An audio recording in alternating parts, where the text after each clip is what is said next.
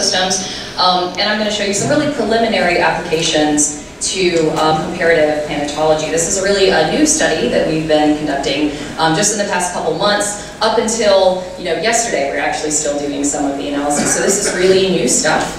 Um, so I'm going to start with just giving a quick intro to networks, which Bob just gave most of you, uh, and then I'm going to go into some more detail about some of the metrics, the statistical metrics that we can use to quantify the relationships uh, that we see in these networks. Uh, and then I'm going to show uh, some preliminary applications to uh, planetary materials, specifically Mars, uh, Moon, and Vesta. so to start, uh, networks are made up of nodes and links. In our case, uh, networks, nodes are representing minerals. So each individual mineral species is represented by a node. And the links between them represent uh, the coexistence of two mineral species. These come together to comprise a network. Um, we can make a network uh, based on an element. So we could show, uh, you know, the carbon mineral network. We could show uh, a network based on deposit type or rock type, um, or even a planet. If we want to use, say, Martian meteorites as a proxy for, you know, the bulk Martian material, um, we can look at it on a planetary scale. A big assumption, I know.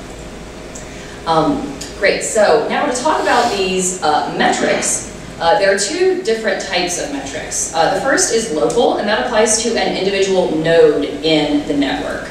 Uh, this can help answer questions like how important is this one node, and does one node communicate between uh, two distinct groups? Is a node a broker in between uh, two different systems? Um, and then there's global, uh, which is looking at the entire network, which is what more so what I'm going to focus on in this talk. Um, and so with that, we're answering questions like, is this network highly interconnected? Um, and does the network form distinct clusters or groupings?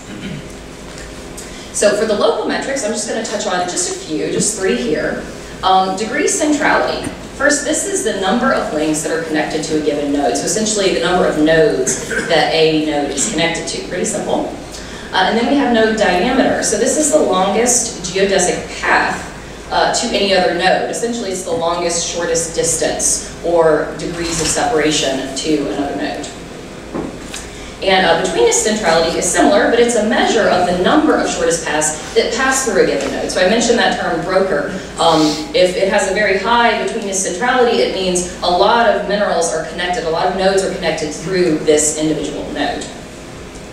So next, the global measures. Um, I'm just going to talk about four here. There are a lot more, but we're just going to focus on four. Uh, first is the density. And that is essentially the number of links divided by the number of possible links. So it's the interconnectedness of a network. This is interesting in mineralogy because the more interconnected a network is, the more likely we're dealing with an equilibrium mineral assemblage. Um, so you can see here as density increases, everything is more connected to each other. Uh, network diameter similar to diameter explained before. Uh, it's the largest geodesic distance in a network. So it's essentially the shortest path uh, between the two most separated nodes in a network. And the average is exactly what it sounds. Um, it's the average degree of separation in a network, which is a term we're probably all familiar with, um, degrees of separation. Uh, lastly, I mentioned centrality, which is a, a, measure you can use for an individual node to understand its importance, but you can look at centralization to understand uh, the centrality of an entire network. Uh, so for centralization, it's a measure of how central a network's most central node is relative to how central the other nodes are. So we're looking to examine, are there a few very important nodes, or are the connections really interspersed throughout the network? Um, this is true of degree centralization and betweenness centralization. It just depends on what you're interested in uh, figuring out. So are you, do you want to look at the number of links to each node, or are you interested in uh, the number of shortest paths to each node? Um, so do we have you know, highly interconnected, or do we have a more brokering system with clusters?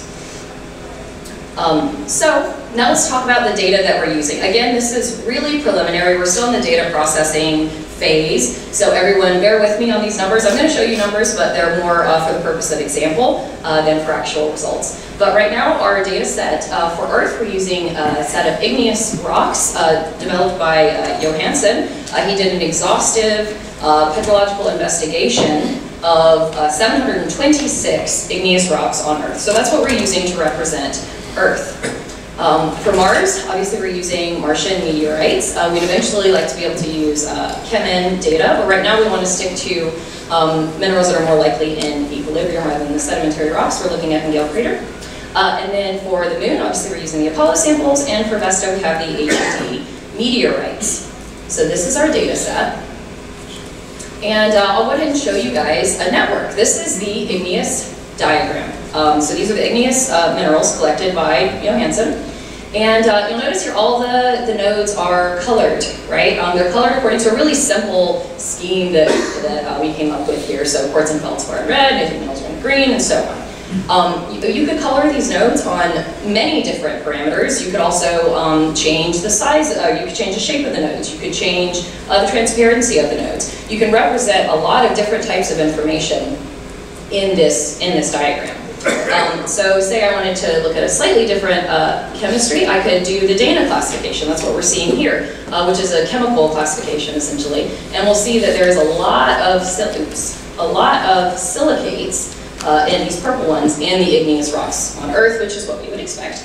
And um, another important thing to point out is the node uh, diameter. So that's scaled in proportion to the frequency of occurrence. Uh, and also the lengths of the link between those nodes is scaled inversely proportional to the frequency of co-occurrence. So essentially, if two minerals uh, have a short link, if they're close together, they occur together frequently.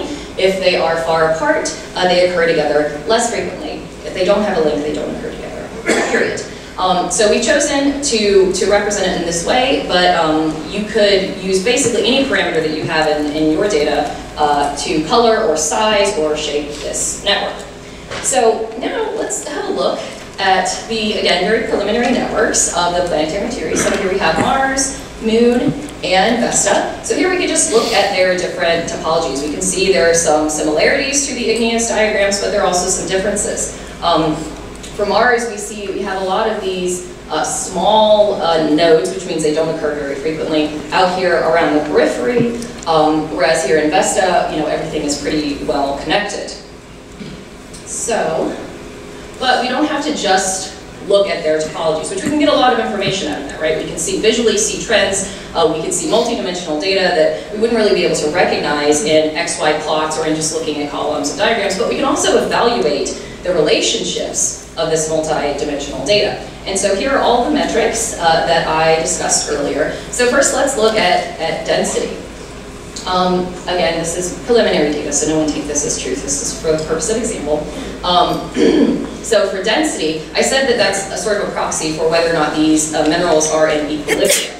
And so here we can see uh, we're definitely getting into you know much more equilibrium conditions here with these. Uh, Mars is is much lower for the data set that we're using. Um, is the caveat there, but that's what you can take away from density is how in equilibrium are these mineral phases. Uh, diameter is pretty similar across the board for all of these samples, but you'll notice that Mars has a higher, a distinctly higher average network diameter, so it has distinctly higher average uh, degrees of separation, which uh, along with the centralization measures, which are higher than all of the other samples, it tells us uh, that there are a few really important key nodes in the Mars network that are connecting it to other minerals. So the last technique um, I'd like to point out is uh, cluster analysis. So we use some of these uh, metrics that we just developed to actually cluster uh, the minerals into distinct groups. Uh, you can choose which parameters you cluster these on. You can do it based on chemistry, you can do it based on age, you can do it on, on many things, and you can do it multiple parameters at one time. Um, so our wonderful colleagues at RPI have many different techniques for doing this. Um, the two I'd like to mention are the Walktrap method, which you see here, um, which is essentially determining what is clustered with what if there are clusters and trends in your data that you weren't able to see um, visually. So, great. Um, so in conclusion, applying network analysis and uh, other big data techniques to large mineralogical data sets allows us to analyze mineral relationships and to visualize mineralogical trends. And uh, now we're coming up to the end, and I want to, um, I'm going to show you guys a little video. Um, so here we're looking at, oh, not yet. Um, here we're looking at uh, the, this is the igneous diagram that I showed in the first place. So these are the igneous minerals on Earth from Johannsen, um, colored with our very basic scheme here. And um, And you're going to see me actually playing with the network, which is really fun. I will admit this is a little bit gratuitous at this point because they're just fun to play with. But um, what we're going, what I'm actually going to do is I'm going to plot the Mars, uh, Moon, and Vesta data directly onto the igneous diagram. Um, so this is an idea we're just recently exploring, like in the past week, of a way to show Mars or the Moon and Vesta in context of the igneous minerals that we have on Earth. So go ahead and play it. And so you'll see we can just select and show. And this is really cool when you, so, so this is what Bob was talking about when he was saying uh, you can actually manipulate the network. And when you let it go, it tries to find its, uh, its equilibrium position, the least energetic state. So with that, I'll finish. We'll just let this loop and play in the background. Um, yeah, feel free to take photos of it, videos or whatever. And also if you're interested in, in seeing more of this, I have some live examples on my laptop.